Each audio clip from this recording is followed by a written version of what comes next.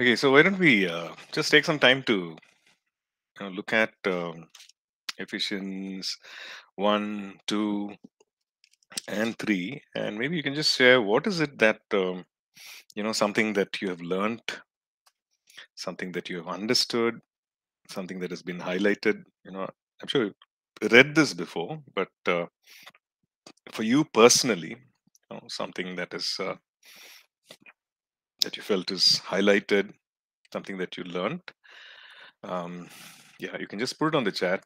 Something that um, that you saw afresh, right? As we were studying, as we were going through. Um, yeah, just go ahead and uh, you could share chapter one, chapter two, chapter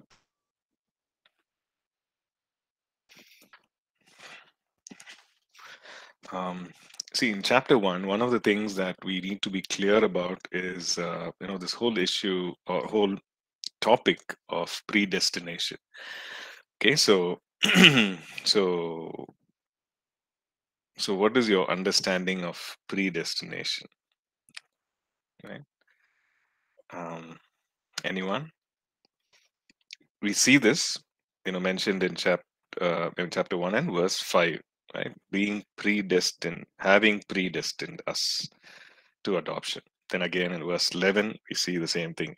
You know, that word again coming, that we have obtained an inheritance, being predestined according to the purpose of Him who works all things according to the counsel of His will, and uh, and so on. So, so what is this predestination? Well, that is what we see right right there, chapter one. So, what do you think? Now that we are in chapter four, uh, I think we need to be clear about you know this these things, right? So, anyone, um, Dave, Thomas, anyone, just go ahead and share. What is this predestination?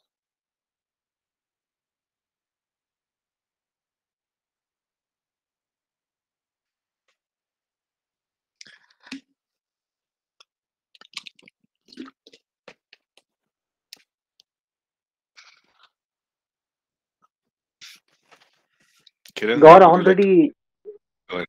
Yeah, sorry. Uh, go ahead. Yeah. God already cho- chose us before the foundation of the earth in Christ Jesus. Mhm. So we have to be saved and to walk in His holiness. Okay. So, So- that's already chosen, pre predestined thing. Mm. So the question is now, does that mean that God has, uh, you know, already predestined? Okay, some people will be saved, some people will not be saved.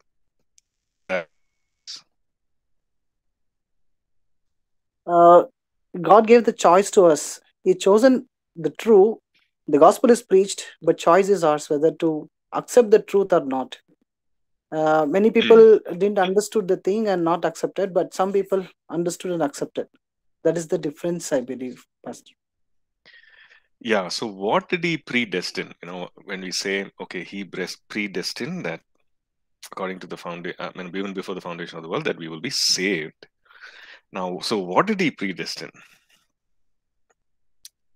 And okay, I, I'm reading what uh, Dave has Dave is sharing. Uh, has put on the chat. He's saying God does God doesn't predetermine who is saved or not. Okay, so that's something that uh, you know, Thomas, what you also shared. God does not predetermine in the sense He's given us free choice.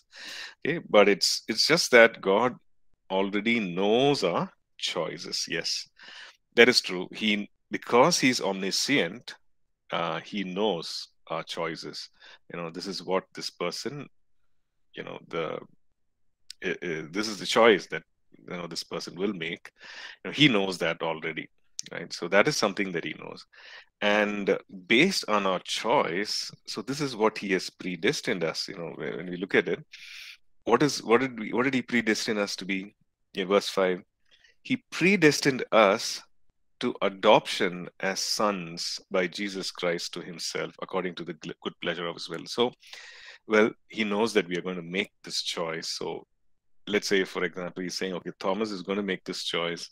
Um, he knows that already but god is not involved in making the choice for thomas but thomas is making the choice himself right? So what is god predestining? He's he's deciding okay when thomas makes this choice then he will be adopted into the family as my son right? So that is something that is he pre that is he that that is something that he's predestining you know he, he's pre-planning. And um, it, it is in his foreknowledge he knows that okay thomas will make this choice. But when thomas makes that choice this is what this is who he will be. Now that he is predestined. We look at verse 11 we have obtained an inheritance being predestined according to the purpose of him who works all things according to the counsel of his will. So uh, he according to his purpose according to the counsel or the wisdom or the good advice of his will of his intention he is predestined something. What is he predestined? He is predestined the that thomas when he makes the choice uh, when he becomes the you know you know he is predestined that he'll be a family of god he has also made that predestined uh, what he is predestined, predestined is that that he's going to obtain an inheritance. He's going to receive an inheritance. All that he has uh, because he's an heir of god because he's in the family of god he's going to receive this inheritance. Now that is something that is predestined.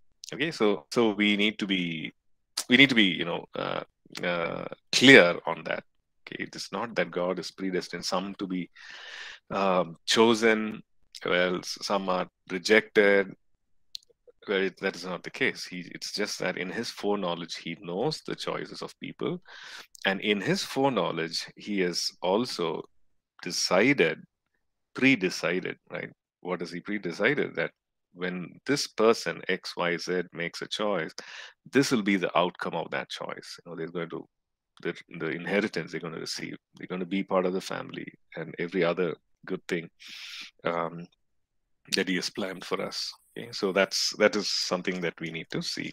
Okay, chapter one again, you know, a powerful prayer there that we can apply personally in our own lives. Okay, chapter two, position, our position in Christ. What has happened to us because of our faith in Christ. You know that you've made alive. He has made alive. You've become, uh, you know, you've become a believer. You've become a son and daughter of God, um, and also uh, it talks about how you have uh, been made alive, spiritually quickened, right? Made alive, quickened in the spirit, so that you you can relate to God and and it talks about how you were raised up how we are seated. No that's a powerful truth again right? That in the spirit we are actually seated within. Now you might be wherever you are whichever country you are you are you know in right now whichever city you are in right now. But in the spirit though physically we might be you know in such and such a place confined to time and you know uh, distance and all that. But in the spirit we are seated with christ in the heavenly places right? Um, that is what we see. Verse 6 chapter 2 verse 6 raised us up made us sit in the heavenly places in Christ Jesus. Because because we are one spirit with him. Now that's another powerful truth right? So we see that and then how as gentiles as non-jewish people you know we have been brought near whatever was separating us from the people of covenant you know that was broken. And he has made both the people of the covenant and people who are you know not of the covenant. He has made both one in his body that is a new creation right both become new creation by through their faith in christ and this is a grace of god. Okay? Um, so that no one can boast. And and he talks about he gives a different you know different pictures you know the the building that you are a holy temple and you are being built as a dwelling place in the spirit and so on. So there's so much about the identity about who we have become in, in Ephesians and particularly in chapter 2. Right? And chapter 3, he's talking about himself and how revelation was given to him for the sake of others, for the sake of the Christ, for the sake of the church, sorry. And uh, and we see that this revelation is something that is, uh, you know, he, was uh, given uh, to be to steward it to others, and and so also for us, that revelation, the grace of God, which is given to us, is to steward to others. Okay, and and then in chapter three we see that he prays again, and he prays um, that you'll be strengthened with might through His Spirit in the inner man. So five things he prays for, and uh, and then uh, chapter 3 ends by saying that you know he's able he talks about the, the glory of god talks about uh, the very nature of god and what he can do he says you know to him who is able to do exceedingly abundantly above all that we ask or think right? according to the power that works in us to him be glory in the church now again it's not only the ability of god but it's also the the willingness and the intention of god that he wants to do um, you know, ab- above all that we ask or think. He, wants to do um, exceedingly abundantly above all that we ask or think. Okay. Okay. So, um, chapter four, verse one, we saw the uh, first few verses.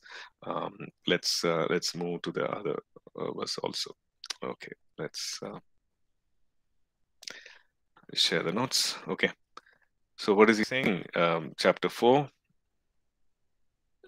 saying this is what you know i'm a prisoner and i'm, and I'm beseeching you to walk worthy uh, and he's explaining like what is this you know, how can i walk worthy of the call um, with which i was called you know with, lowliness gentleness long suffering uh, bearing with one another in love and so on right? Verse chapter uh, sorry verse 2 um, verse 3 endeavoring to keep the unity of the spirit in the bond of peace. So which means you i'm working I'm working at preserving the unity of the spirit that is given for the believer like preserving that unity you know you work at it you endeavor to keep the unity of the spirit in the bond of peace. Now this the peace of god uh, which is going to be the bond which is going to be the you know the the thing that causes us us to um, stay together right to keep the uh, unity. Um, so, so you know, so he's going to do everything. So he's saying, you know, this is what you need to do as believers. That you do everything. That you put in effort to, to, to be united, and in to be, you know, to promote peace, not strife, not disunity, but uh, you keep the unity which the Holy Spirit brings. Right? It's not a fleshly effort, but the Holy Spirit brings in that unity. Okay. Okay, let's look at verse 4. Verse 4. There is one body and one spirit. Okay, so he's talking about some things that as believers, as the church, you know, this is all you have in common. There's no difference. Right? Um, so in other words, he's just giving the reasons for why you should endeavor to keep the unity of the spirit in the bond of peace. Because you're you're not very different. Well, you know in the sense we are we are unique. We are unique in our calling gifting and all that. But here are the common things that we have. Here are things that we have in common uh, between us right? What is it that uh, he talks about uh, verse 4 i'm sorry verse 4 you know uh, he lists all these things right? That we have one body. We all belong to the same spiritual body of christ. We have one spirit. We have the same holy spirit one hope of our calling. You know, we have the same hope in Christ. One Lord, we serve the same Lord, we worship the Lord. One Lord, one faith, right? We have the same common faith. One baptism, right? We have been baptized into Christ, and uh, he's talking about, uh, you know, we, there is only one baptism. When, when you talk, actually, when you look at it, there are uh, the, the word baptism is to immerse completely and, and the bible talks about three instances right? One is um, when you're baptized in water when you're baptized with the holy spirit when we are baptized in the body of christ. Okay baptized in water of course matthew 28 the great commission right? The, the, the Lord talks about that.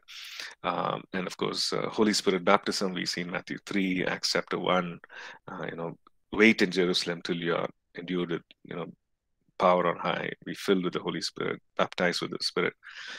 Then 1 Corinthians 12 talks about the fact that when we become believers, we are baptized into the body of Christ. So we know that there are, you know, these three instances, but here he's talking about, you know, one baptism where, um, you know, when we're talking about baptizing in water, there is only one, like One faith, one Lord, one faith, one baptism. One God, one Father of all, who is above all and through all and in you all. So, well, this is it. You have all these things. This is common to all of us as believers, and therefore endeavor. You know, endeavor to walk in or endeavor to keep the unity of the spirit and the bond of peace and also um, you know uh, what he's talking about in verse 2 with all lowliness and gentleness with long suffering you know bear with one another in love and then endeavor to keep the unity of the spirit in the bond of peace okay so he's uh, now here in verse 7 he talks about okay each of us were given a measure of christ's gift Okay, let's read from verse 7 till the end of, uh, till, you know, right through to verse 16. Okay. Um, verse 7 But to each of us, grace was given according to the measure of Christ's gift. Therefore, he says, when he ascended on high, he led captivity captive and gave gifts to men. Now, this he ascended, what does it mean?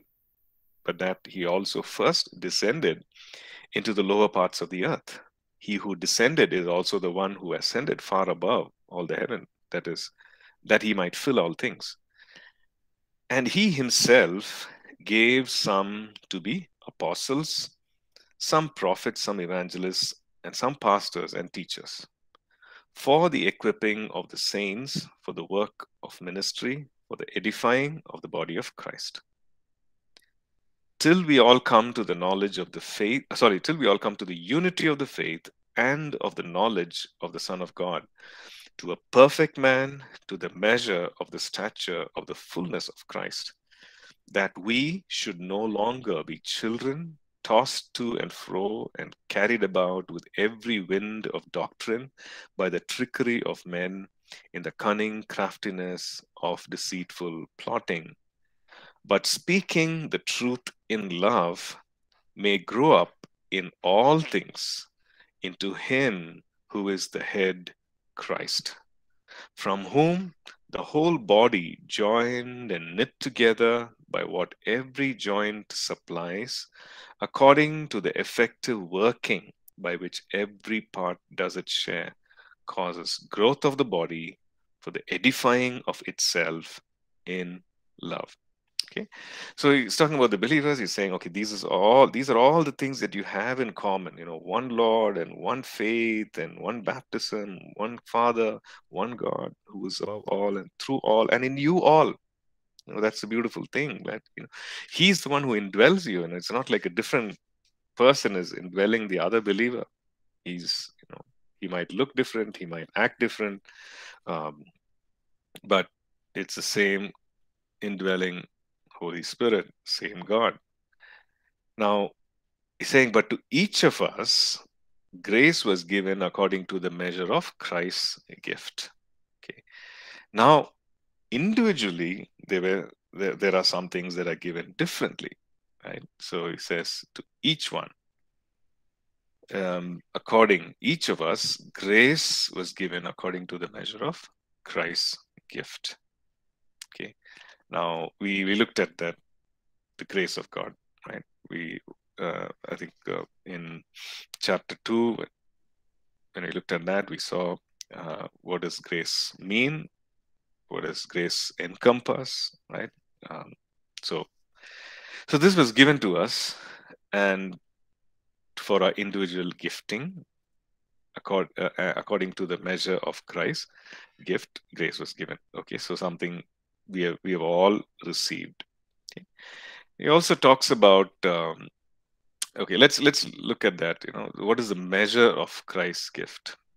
You know, So, which means that uh, each of us, you know, may be given a different measure of Christ's gift. Okay, so the, the gift here, um, talking about the gift of uh, the gift of God, the gift of the Holy Spirit, and uh, talking about um, you know different measures of the gift. Okay, so me measure meaning that it different uh, in in different intensity or in different uh, um, levels of maturity. Okay, so we have been given uh, a measure. So as believers, we've been given a measure. Now, what we do with it, with that measure of Christ's gift, determines, you know, whether we grow in it, whether we, uh, whether the gift be, becomes effective, um, whether we are faithful in stewarding that grace, right? Or we neglect it and and then it is unused and we are not really effective in it right? So so the thing is this that we are called to be uh, faithful right? Uh, you know if, you if you uh, remember if you recall in in first timothy second timothy paul is actually writing to timothy and asking him to use the gift right? So in let's say in first timothy um, he, he, he says um, um, um, just, uh, yeah, uh, First Timothy chapter four and verse fourteen. Right, do not neglect the gift which is in you, that is in you, which was given to you by prophecy by the laying on of hands of the eldership. Right, uh, don't do not neglect. First Timothy chapter four verse fourteen. Uh, Second Timothy chapter one verse six. Therefore, I remind you to stir up the gift of God, which is in you through the laying on of my hands. For God has not given us a spirit of fear, but of power and of love and of a sound mind. So he's saying, you know, it's up to us not to neglect it. It's up to us to stir up the gift and walk in it. And Paul is actually reminding Timothy to do that. You know, don't give in to fear, because God has not given us a spirit of fear.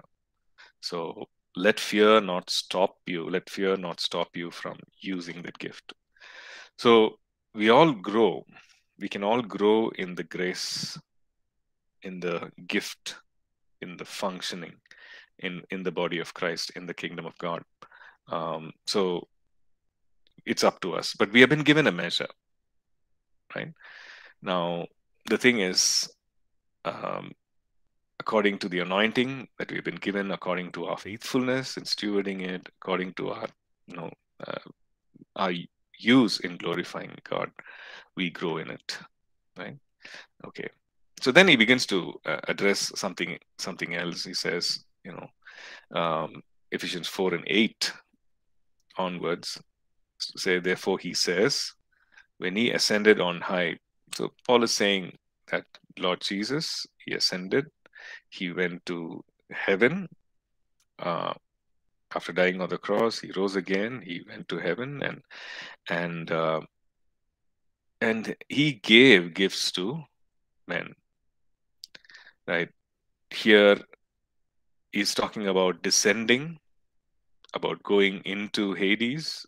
He says, you know, who's the one who ascended, but is also the one who descended. So hell in Greek is Hades, uh, and uh, I think we've looked at it uh, again, but let's you know let's just review this. Um, so it's a place in the Old Testament. We see that uh, something. Uh, we see another term, which is Abraham's bosom, which was a place for or paradise. There's a place for the Old Testament saints. Like when people died, um, their spirit went to this place, right? And uh, it is equivalent. So this Hades is equivalent of that. So it talks about the place when Jesus died. He he went to this place, and he talks about it. He says, "Today you will be with me in paradise." When he uh, talks to the thief on the cross who was next to him, so he goes there, and uh, he did something there, right? So uh, the which he emptied, right? emptied the the emptied hell, and he also talks about uh, when we when we go on. Uh, Paul talks about in in Corinthians. He talks about how he was caught up into third heaven, into paradise. So now we know that okay, this the Lord Jesus, he did something. He went to, uh, he went down. He descended into hell.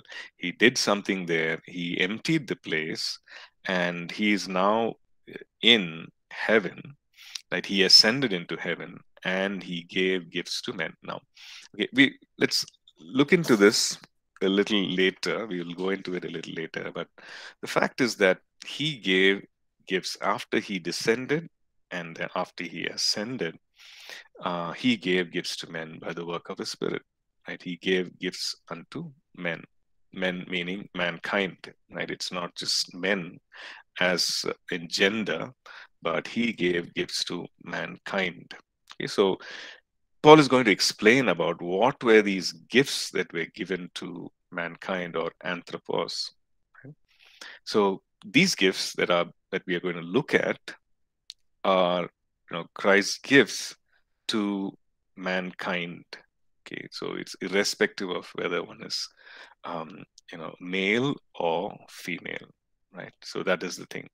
We need to understand that when, because when, uh, you know, when he, when we look at the term there, word there, okay, give gives to men, and then uh, we can wrongly conclude that it is only for men or only for the male. No, he actually the gifts that he is given are for mankind, right? Male and female. Okay, so let's look at that. So uh, Ephesians 4 verse 11 says that he himself gave some to be apostles. So he's, he's listing, I mean, listing there five gifts, right? Five, or what we call as fivefold ministry gifts, ministry functions, ministry offices. Uh, several terms we use to describe this. So, uh, apostle, prophet, uh, evangelist, pastor, and teacher. So, five he mentions here. And he says that he gave some to be apostles, some to be. Now, when you look at this, this is different from verse 7, where he says, But to each of us grace was given? Each of us grace was given according to the measure of Christ's gift. So it's talking about the gifts of the Spirit there in verse 7, where which everyone has access to. Like everyone has access to these gifts of the Spirit, uh, to each of us. Right? Even in 1 Corinthians 12, we see the same usage where where um, um, let me just quickly read that. Uh, 1 Corinthians 12, you know manifestation of the spirit is given to each one for the profit of all. That is 1 corinthians 12 and verse 7 the manifestation of the spirit is given to each one for the profit of all. So here verse 7 talks about how to each one of us uh, grace was given according to the measure of christ's gift. Okay. But in verse 11 we see that he himself gave some to be apostles some prophets, some evangelists, and so on, right? Uh, and some pastors and teachers, which means that, well, as much as God has given uh, each one the gifts of the Spirit, He calls some into what is called as the fivefold ministry gift, right? Um, and it is it is not something I, I decide or you and I get to decide, but then he decides and he calls and he gives some to be apostles, some to be prophets, and so on. Okay, so um, so which means that um, well, he's calling some. First of all, you know, we know that it's it's not just for men; it's for men and women. So he's calling some to be this right? uh, in, into the apostolic, into the prophetic, as a prophet, as an evangelist. Okay. Now we also know, you know, what is the difference between ministry gift and ministry functioning? Well, we we see that all of us can prophesy because each one has been given the measure of Christ's gift.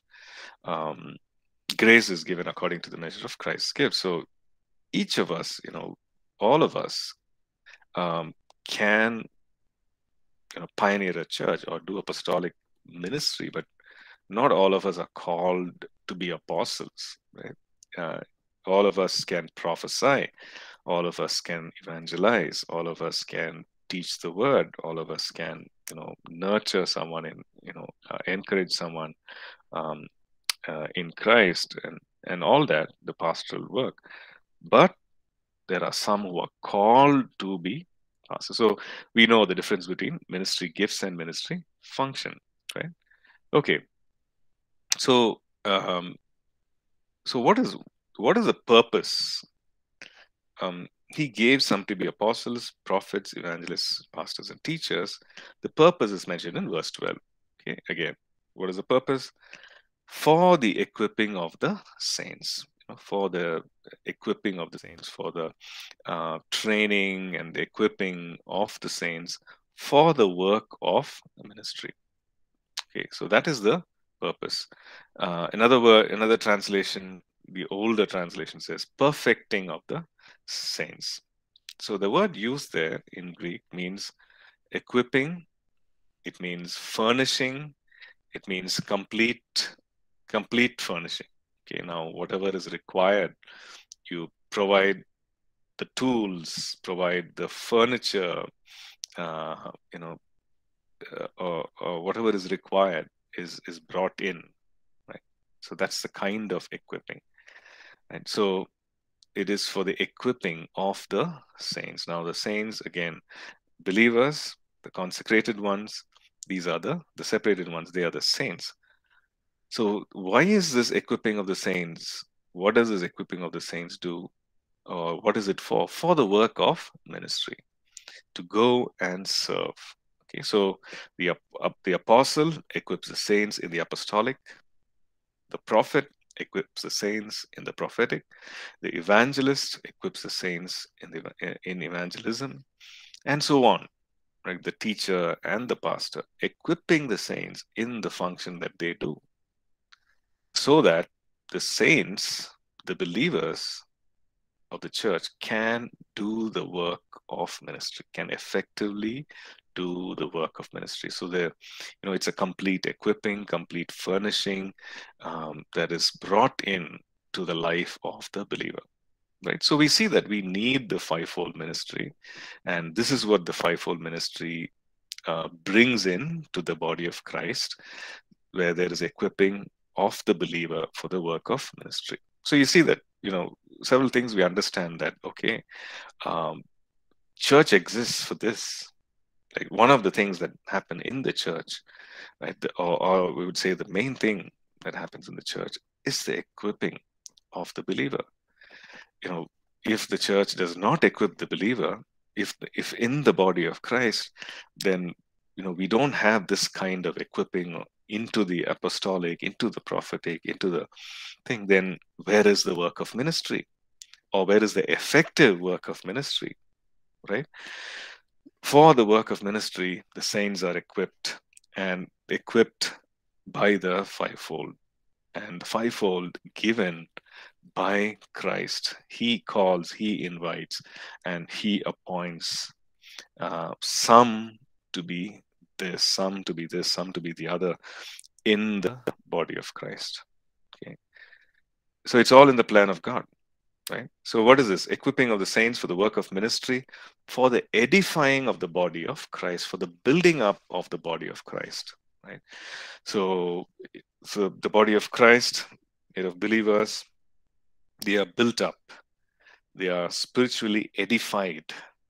There is strength in their spiritual life. Okay, they are they are edified. There is spiritual, constructive spiritual progress in their lives Right? So that happens.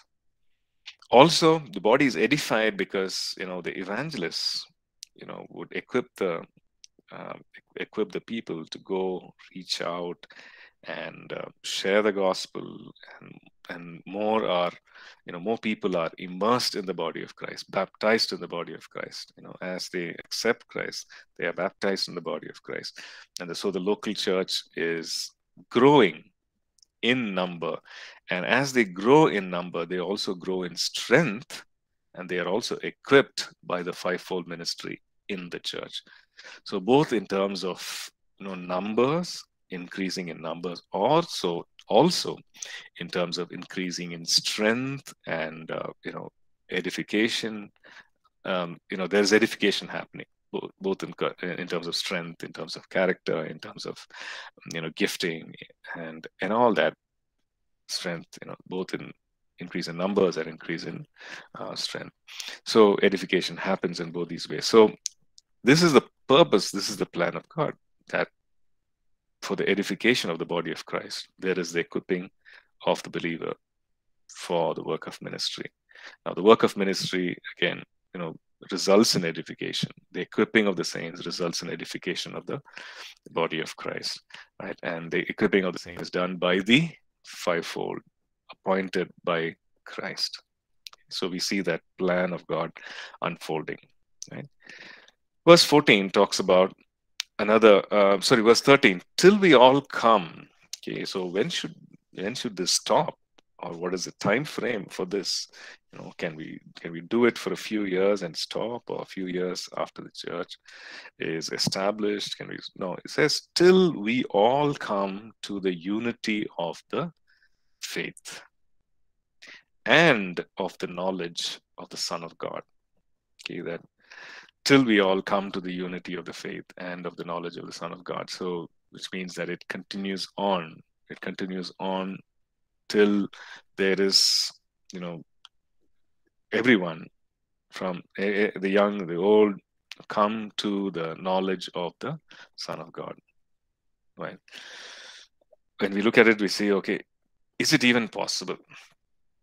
You know, is it even possible? First of all, you know, talking about unity in the faith, oh man, people you know believe so so differently so so many things so many differences.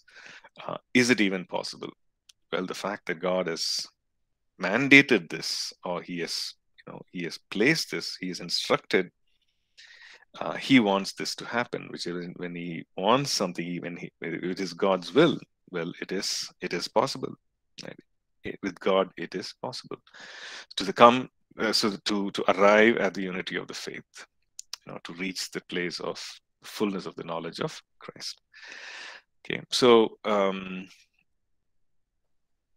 the the second part of that talks about to a perfect man, to the measure of the stature of the fullness of Christ. Okay, so he's talking about uh, maturity, right? A per perfect man, mature man, fully grown. Mature to be like Christ, maturing to Christ likeness. Right? So it's God's will that this happens and the believer comes to maturity in Christ. So you see, you know, as maybe as pastors, maybe as church leaders, you know, this is something that we need to you know, keep in mind as we minister, uh, as we you know share the word, as we uh, maybe you know even as we lead in worship or you know as we teach and preach um, so that you know we are we are not there to just deliver a message to inspire people. You know this is the end product right? This is the flow. This is the um, this is the process and this is what god has in mind for the church. This is what he wants for the church right? christ likeness that everyone becomes mature in Christ. Okay, so um, so yeah, so 13, second part of the verse 13, to a perfect man, to a measure to the to the measure of the stature of the fullness of Christ. Now it's a it's a big thing, you know. It's a, it's a, to the fullness of Christ. So he's the model, he's the blueprint, right? So that is what we are pursuing and that is what we are going after. Even as as ministers as we teach and preach as we ourselves are growing into christ likeness now that is the you know christ is the blueprint to the full measure of the stature of the fullness of christ. And so also the blueprint for every believer. Right fullness of christ christ likeness. Verse 14 talks about you know why Christ likeness. One of the aspects is that we should no longer be children. Okay. Now, when it comes to children, yes, we are called to have childlike faith, right? Faith like a child, childlike faith. But the Bible also warns us not to be childish, not to be immature, right? So, saying here, verse 14, that we should no longer be children tossed to and fro. Right?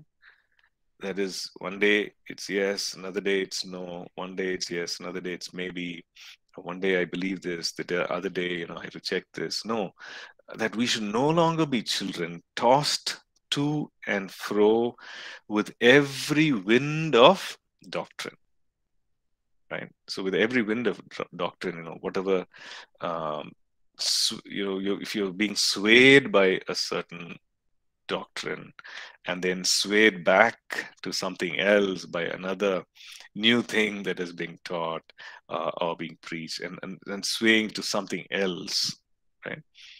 So we should no longer be children.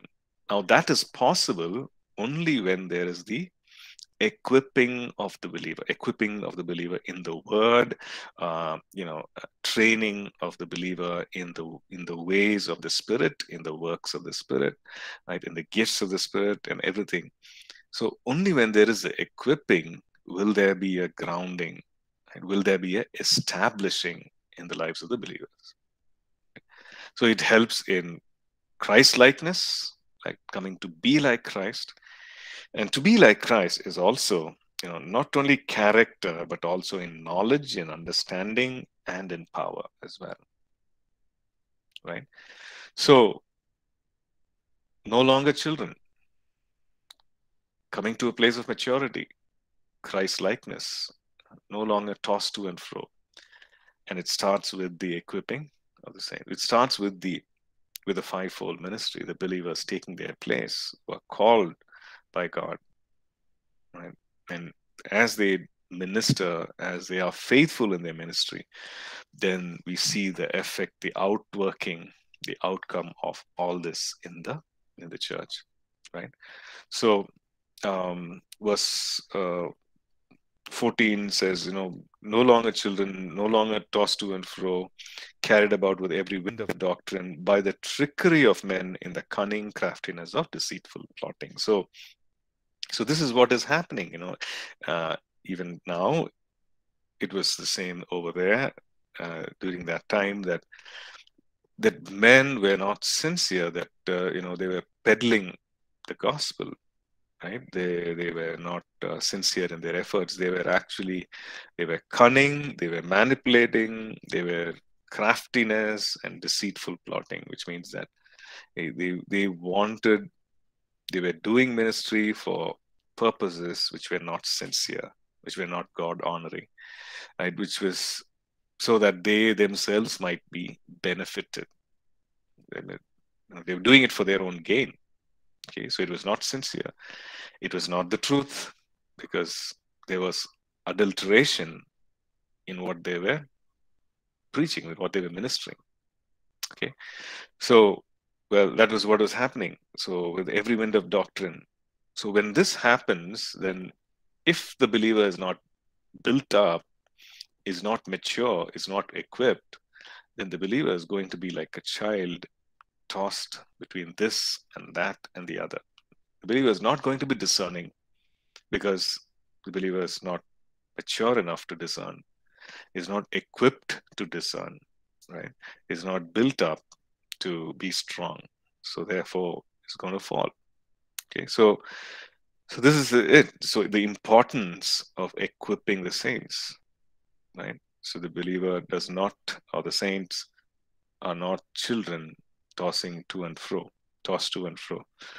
Um, okay, verse 15. But speaking the truth in love may grow up in all things into him who is the head, Christ, from whom the whole body, joined and knit together by what every joint supplies, according to the effective working by which every part does its share, causes growth of the body for the edifying of itself in love. Okay, uh, so speaking the truth in love may grow up in all things into Him. Okay, so here is the thing speak the truth. Well, sometimes truth hurts. Right? Sometimes truth, it, it's so direct, it hurts, but speak it in love.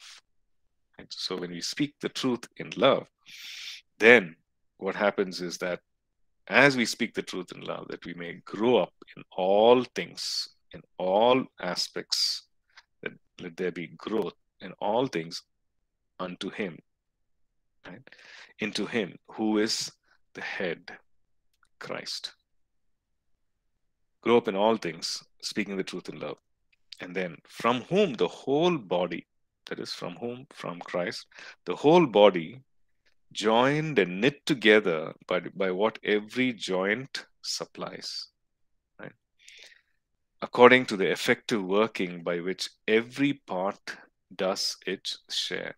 Okay, so, so the thing is this that um, every joint supplies something, every member, every part does its share. So whether it's preserving unity, whether it's promoting peace, whether it's um, you know uh, honoring one another, loving one another, whether it's uh, serving one another, you know, uh, with the gifts, right? Uh, where, so whatever it is, right? Um, when we do this, then there is edification. It there is growth in the body, right? Effective working. It causes it uh, uh, according to the effective working, but by which every part does its share, causes growth of the body. So the body is being edified, it begins to grow um, for the edifying of itself in love. So so we see that uh, okay, every believer has a role to play. Every believer is a saint in the body of Christ. Every believer uh, you know is called to do the work of ministry. So so many things that we can draw out from this passage, from this chapter, that everybody was called to do the work of ministry. Everybody was called to be equipped in the body of Christ. Everybody was called for maturity and not remain uh, childish, right? And everybody was. It's it's the role of the believer. It's the responsibility of the believer. So as ministers, you know, as um, you know maybe pastors we need to instill that instill that in the body okay that the body is uh, the body needs to grow the church needs to grow and so even our uh, you know perspective of you know people just coming and attending and going you know that changes right we don't want to like have church just for numerical purposes or you know numerical growth. Oh wow it's a great congregation 500 600 1000 thousands 10000 um, which is which is wonderful right?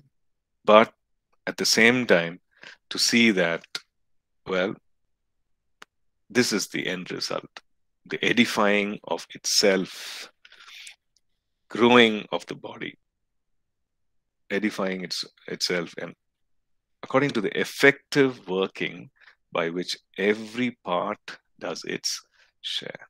Right? To each one is given a measure of Christ's gift, according to the effective working by which each um, part does its share. So everyone has a has something to do in the body of Christ. Everyone has been given something to do in the body of Christ, and everyone has been equipped by um, the, the fivefold to do something to serve, uh, uh, serve, to minister, to be equipped for ministry. Right. So we understand that this is what a church is about. This is what ministry is about, and uh, and this revelation, right, is from the Holy Spirit, from God, um, made known to the body of Christ uh, by the apostles and the prophets and so on right? So this is this was not previously known uh, in previous dispensation, but in the current dispensation, it's made known to the body of Christ. Okay, so um, we're done with um, up to verse 16. So next class we will continue with uh, from 17 onwards. Okay, um, just a quick uh, update about uh, our IRP class next. That is tomorrow. We will not have. We will not be meeting. Okay, I'll put it in the stream as well. Um, just put it on the on, on your WhatsApp group that we will not be meeting for our IRP class tomorrow. Um, just continue with the work, continue with the research work. We will meet the following uh, Wednesday instead, right? Okay. Okay. Thank you. Have a nice day. God bless. Thank you, sir. Thank you. Bye. See you. Bye bye.